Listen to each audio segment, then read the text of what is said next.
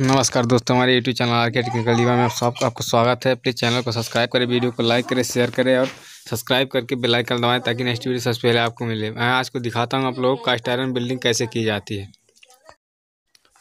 ये हमारे पास कास्ट आयरन का राड है। मैं इसी से कास्ट आयरन बिल्डिंग करेंगे। मेरी मशीन है। ये मैं मशीन है।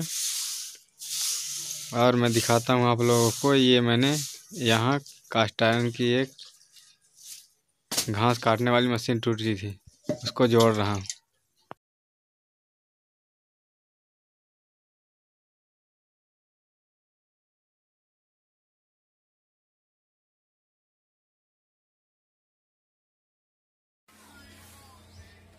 सीएल ना है देखिए हर सीएल ना है टूट गया